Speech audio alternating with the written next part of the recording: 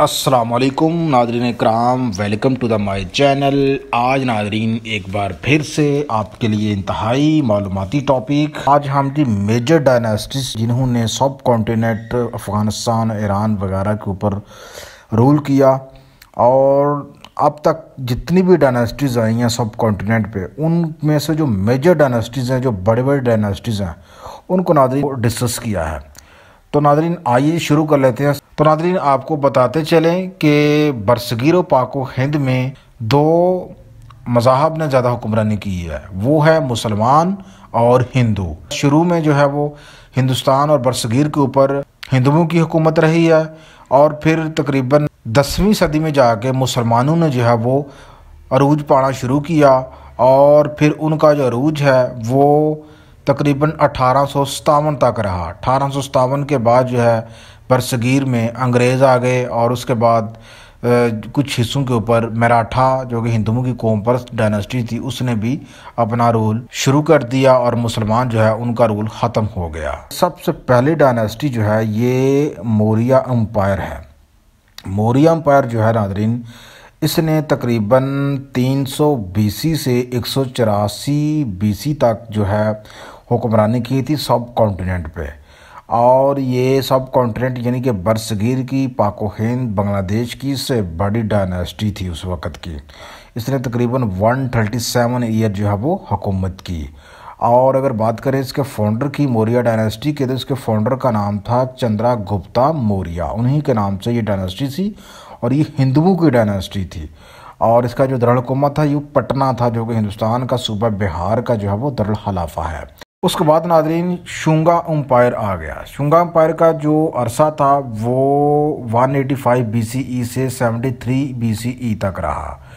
और ये किस तरह से आया कि जो इससे पहले जो हिंदू डायनास्टी थी, मौर्य अम्पायर उसका जो आखिरी किंग था, जिसका नाम था बिरी हड्रा था, उसको नादरीन ये जो इस डायनास्टी के फाउंडर हैं, जिनका नाम था पुशी मित्रा शुंगा, इन्होंने जो है उसको मारा, कत्ल कर दिया।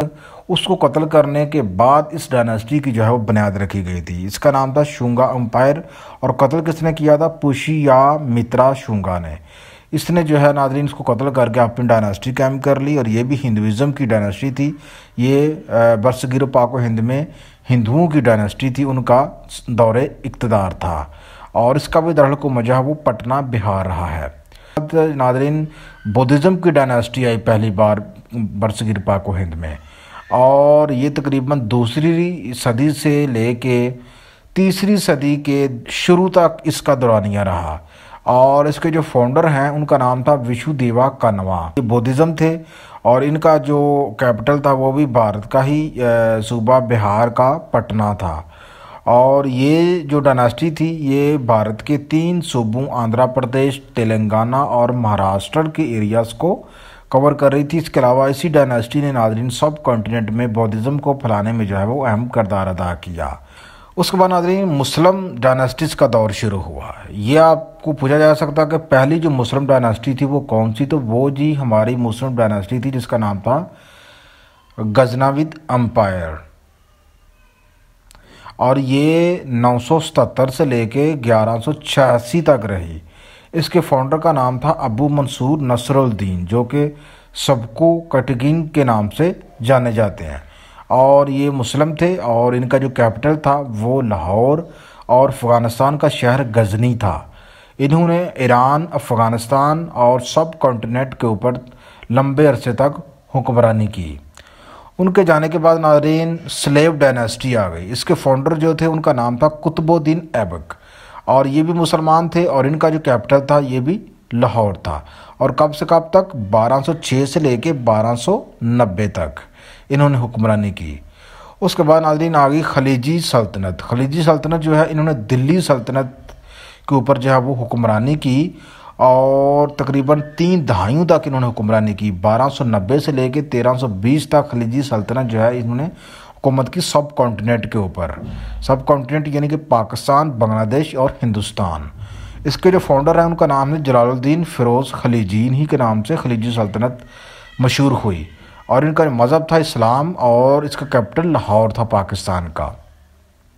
उसके बाद नादरी हमारे सामने आ गया तोगलक डायनेस्टी इसका जो दौरानिया था, ये 1320 से लेके 1413 तक रहा।